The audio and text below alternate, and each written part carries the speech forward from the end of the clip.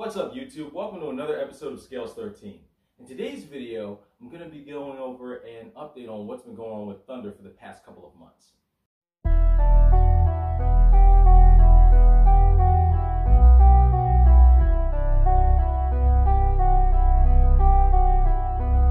So let's start off with the beginning of the story. So, in the beginning of the new year, I noticed that Thunder had a swollen toe. The last time Thunder had a swollen toe, it was because of a broken claw. Now, when he had this broken claw, the swelling on the toe was towards the distal end of the digit. This time, the swelling was on the knuckle. So I did a little research and I went through my notes to try to figure out what was going on with him. And a few different things popped up. Possible causes that look similar to the pictures that I'm going to show you now were gout, MBD, and uh, stuck shed. So at this point, I'm thinking, okay, no matter what's going on with Thunder, he has to go to the vet. Now, normally I like to bring my animals to the vet around the beginning of the summer, so the temperature is nice and warm outside for travel. But of course, this happened in January, and when you see an issue like this, you don't want to let it linger. So I took Thunder to the vet right away, and of course, did the proper heating procedures of my car and everything else in order to get him there. So let's go past that for a second. So I get him into the vet, and they go through their initial workup. The initial workup of Thunder came out looking very good. He was not dehydrated, his eyes were clear, his nostrils were clear, epiglottis is clean. There was no obvious signs of disease. Skin coloration looked looked good, and he didn't have any uh, obvious breaks or sprains. So we can rule out the toe being broken at that point. So what they did was they did a few x-rays of his body to make sure that it wasn't anything broken, but also to see what else could possibly be going on there. Also, they did a fine needle aspirate of the knuckle to figure out what was going on inside of his foot, right? Well, upon looking at the fine needle aspirate, they found uric acid crystals when they looked at the sample under a microscope, which is consistent with gout. Now, this was quite alarming. So what, of course, we wanted to do is we wanted to get to the bottom of how Thunder could have gotten gout. So, like I said in the initial workup, Thunder was not dehydrated, so it couldn't have been an issue with moisture. Then we start going over things with diet. And the first question I got was, well, how often are you feeding Thunder rodents? And I tell them, well, I keep Thunder on a 100% insect diet. He hasn't eaten rodents his entire life. I've never given him a single pinky, fuzzy, any type of rodents at all, right? So then we start going through the different insects, and they're like, okay, what's your main staple feeder? My main staple feeder, of course, is dubia roaches. I feed Thunder other things, but that is about 90% of what he eats. And that's when we basically got the red flag.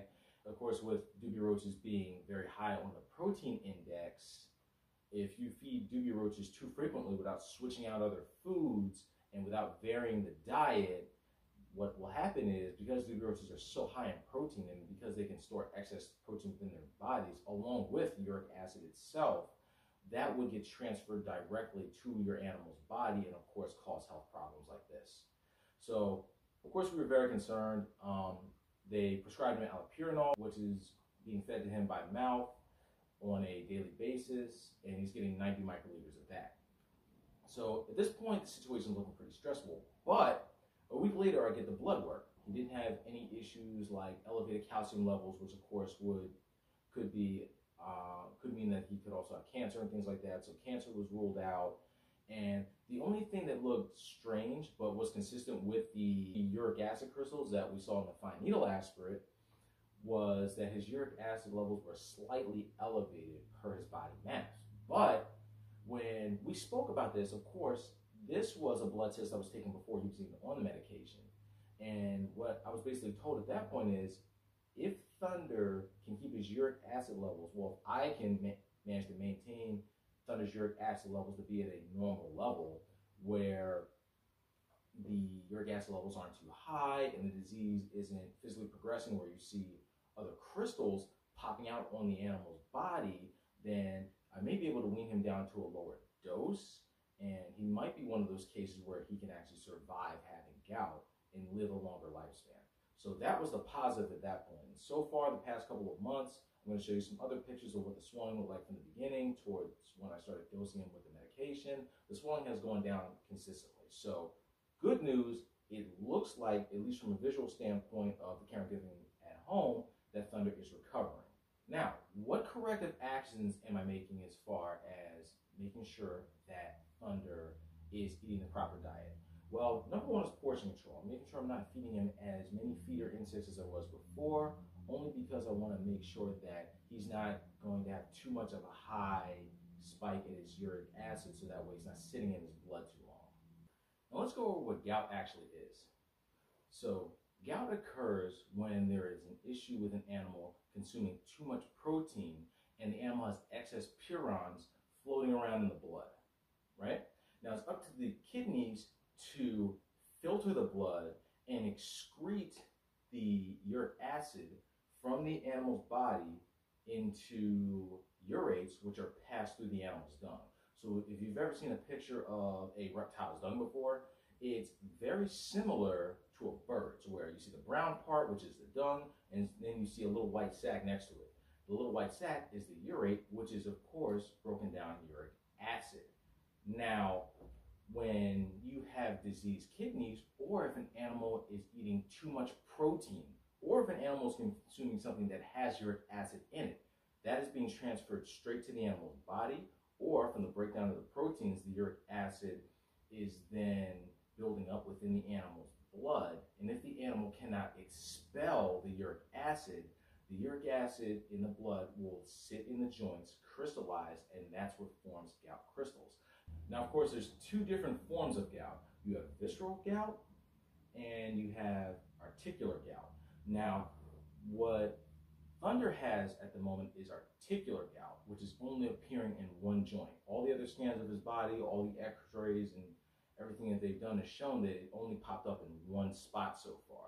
But if he had visceral gout, that's when the crystals are forming within the organs, which of course can be deadly for the animal that has this condition. Now, of course, the big question, how did I let this happen? Well, for many of you who may know, some of you know, some of you may not know, I actually work in a lab setting as a biologist, as a uh, biochemist. And lab work, of course, is very time consuming. A lot of times you're at work for 12 to 16 hours a day. That coupled with the issues that we've been having nationwide with supply chain, it's been difficult for me to get in all the different feeders that I want on time. So because of that, because dubia roaches were the easiest feeder for me to get, and because I already saw them as my staple feeder, I actually wound up feeding too many dubia roaches compared to varying a diet and mixing in different things. And of course, to make up for that, I started actually breeding my own insects. So I recently just started a mealworm colony, and of course, I was getting a dubia roach colony set up where I was getting dubia roaches ready to breed. So that way I can feed them on whatever vegetable matter I want to give them to make sure that they're healthy for my reptiles. Unfortunately, right around the time when I first started getting my dubia roaches to breed and produce babies, soon after Thunder started showing visible signs of gout, and that's when I had to take him to the vet, and that's when we got the diagnosis. So now let's talk about the adjustments that I've made to Thunder's diet.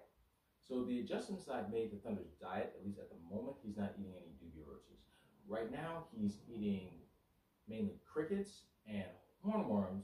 The crickets, of course, are being gut loaded on a healthy a healthy vegetable mix, and the hornworms are being fed because they are lower in protein and they're very high in moisture, which makes them easy to break down and, of course, keeps him hydrated. Also, although he wasn't dehydrated when he came in, in order to make sure that Thunder's kidneys aren't being stressed out from dehydration, I am keeping his humidity about 10 to 15% higher in the day. And of course, at night, the humidity still spikes up to around 90 95% to make sure that he is being hydrated throughout the night while he's sleeping, which of course happens on its own when the lights go out. So that's what I'm doing right now with Thunder. I will continue to update you with Thunder's progress and how he's doing. So let's all hope that Thunder can continue to be on the path of recovery. I hope everyone enjoyed this video. Everyone have a great day. Peace.